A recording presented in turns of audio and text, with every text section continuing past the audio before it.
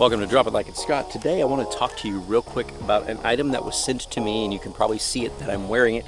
It is the shoulder holster for shoulder holstering. Now, I normally don't do shoulder holsters, but I kind of like this one. I think it's pretty decent. And so I'm going to review it for you today so you guys can take a peek at this thing. It's pretty awesome. It's got the straps on the bottom here where you can strap it up through your belt, lock it into place, backside here, lock it up. It's got two spots for your magazines, extra magazines. It's got the spot here you can put up to a full-size gun in this thing. It's got the strip to pull it out, to use it, lock it in place, this is my Canik TP9 Elite, where you can adjust the straps to make it tighter around your shoulder, lock it in better, put your mags inside here, velcroed into place, and like I said, you've got your areas to tighten it up here on the, on the top to make it tighter.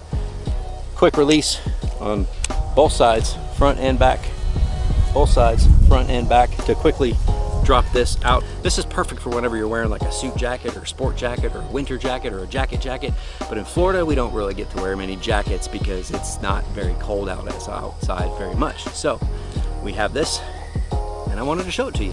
This is from XAegis. Go check them out. I'll leave a link in the description below where you can purchase this off of Amazon.